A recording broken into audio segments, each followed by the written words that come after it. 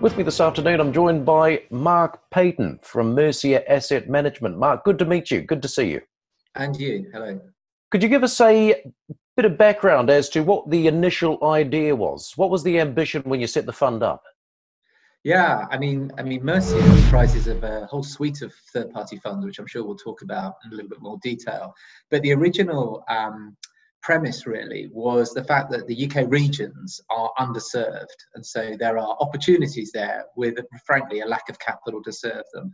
And and really, that started off. We started early days when we first started this up. We had four million of assets under management, and actually, when we came to the market, when we IPO'd on AIM back in 2014, now we had 30 million assets under management, and it's rapidly grown since then. We've got about 800 million now today. Why do you reckon they are underserved and overlooked?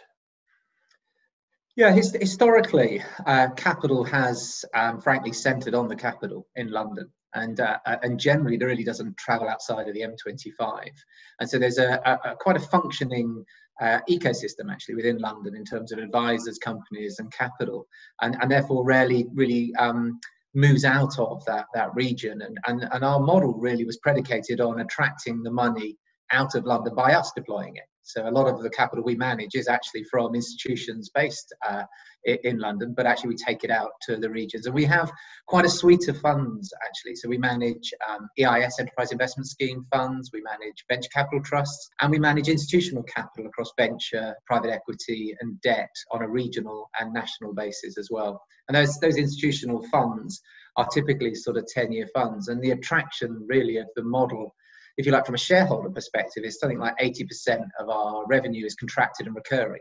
And, and these are 10 year funds, so we can with confidence look at what our revenue is um, sort of month, month, year on year going forwards too. And you're listed in London, are you? Yeah, we are. We're listed on AIM. What sectors in particular are you attracted to?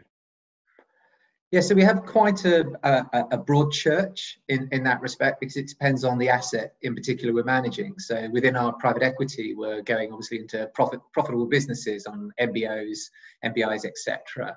Uh, uh, our debt funds lend to profitable businesses as well. But of course, the venture is a braver, if you like, asset class, and that does require um, uh, not just operational experience internally, but sector expertise as well.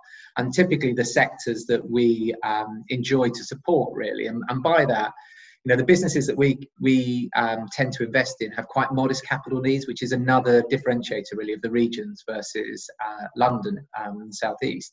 And these businesses rarely need more than 20 million in total, so uh, and up to about maybe 10 million from Mercia. So we can support them, um, uh, you know, majority actually from our own means. Uh, we take a board seat. We've got about 400 companies actually across the portfolio. Take a board seat on on uh, certainly all of the private equity and venture businesses. Um, and we typically take stakes of 20 to 40% in those businesses, so quite material uh, holders of those businesses because we're proactive uh, and, and, supportive in that regard. And so within venture, we like software businesses, SaaS business models. Uh, we go into life sciences, digital health, uh, diagnostic businesses, which I think have been a very unloved sector and a sector that we've been supporting, and now, of course, is massively in the in the in the news. So that's been good judgment, I would say. We're in businesses like Sense through our funds, um, uh, which is uh, making the news in terms of COVID diagnostics, as well as Abingdon Health. Uh, Native Antigen Company, which is a business we support on our balance sheet, provides components for those. So those businesses are, are really prospering. So having that deep sector knowledge within that life sciences has been really, really important for us. And we also back um, uh, digital entertainment and gaming, and of course, with nearly a third of the population at home looking for entertainment, suddenly our gaming sector is doing very, very well. We're in a, a VR business called nDreams, which is really performing strongly at the moment.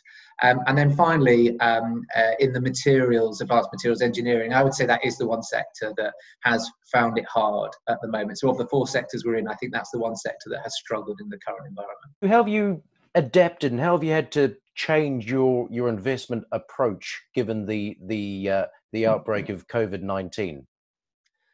Yeah, yeah. I mean, you know, you sort of split it. I guess you'd split it three ways. There. First one is operationally, um, and uh, what what's been. We have eight offices, so we've got over 100 employees, and there's a phrase that I use internally a lot, which is preserved capability. And what, what I mean by that is that so we don't have no staff in furlough, for instance. So, so, what I mean by that, that's about coming out strong on the other end of this. And we, you know, we're obviously going into a recession. Uh, unfortunately, the third one that I've um, invested and supported through, and coming out in a strong position at the end of that is is frankly critical.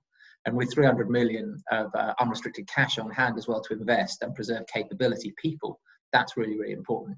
So we have eight offices, but actually, uh, actually last year we moved everything onto the cloud, and uh, completely coincidentally, uh, did a lot of remote uh, working trial and so we had trialed remote working. And so the switch to remote working and the switch for all of Mercia staff has been quite seamless and frankly, you know, is a testament to, to their own adaptability actually. So that that's been really, really good.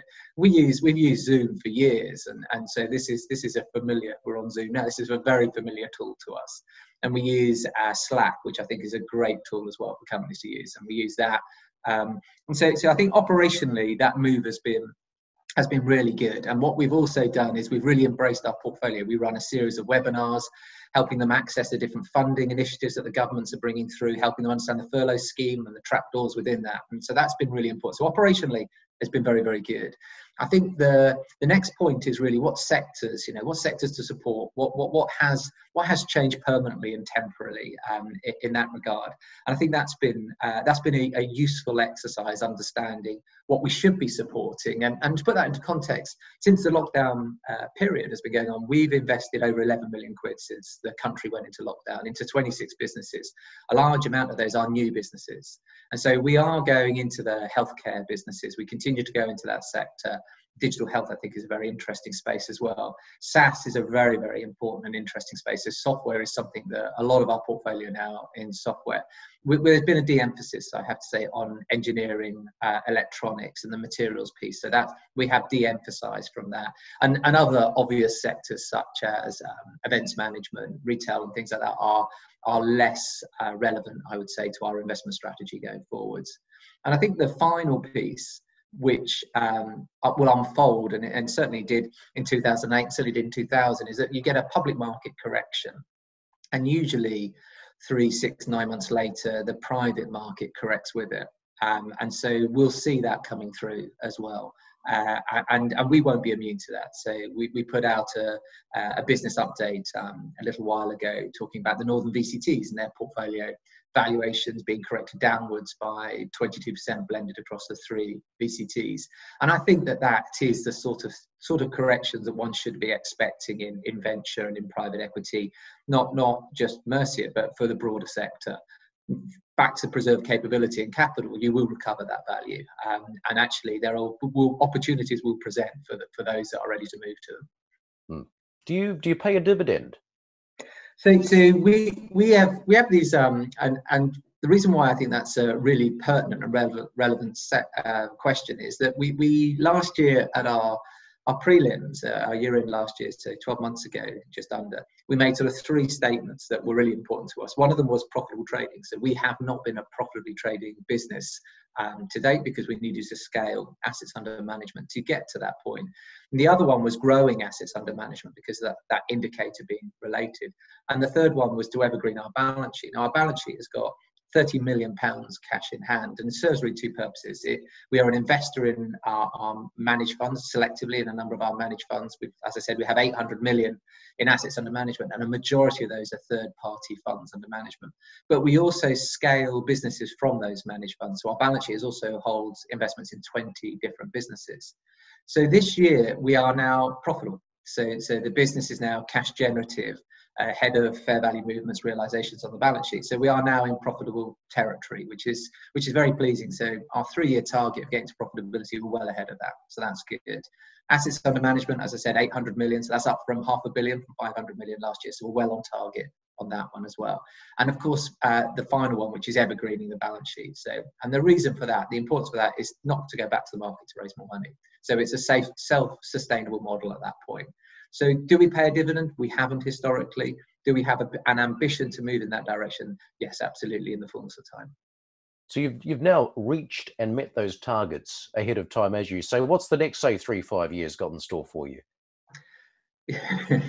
yeah, so so the the target we're at 800 million, want to get to a billion, and I'm confident we'll do that in the next uh, couple of years. So absolutely, the evergreen the balance sheet, I think that's a really important piece. So I think at the moment we're focused down on those two points, and maybe ask me in a year's time what the next three years are. But uh, we're only a year into this three-year plan, so uh, we have a very clear steer at the moment.